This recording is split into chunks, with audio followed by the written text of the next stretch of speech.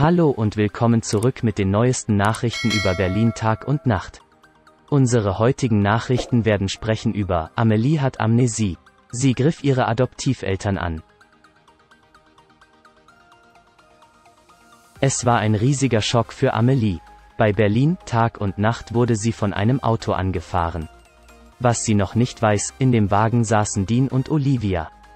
Doch auch für Miller könnte das nun Konsequenzen haben, ihre Eltern wollen Amelie gegen ihren Willen nach Österreich holen.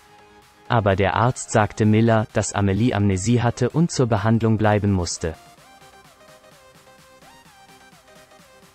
Als Amelie fürchtet, dass ihre Adoptiveltern sie gegen ihren Willen mit nach Österreich nehmen, reist sie aus.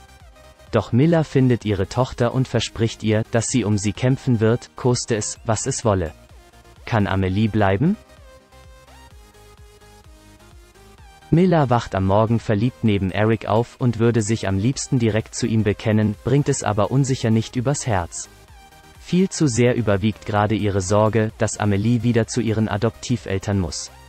Denn obwohl Miller für ihre Tochter kämpft, wollen die Amelie mit zu sich nach Österreich nehmen.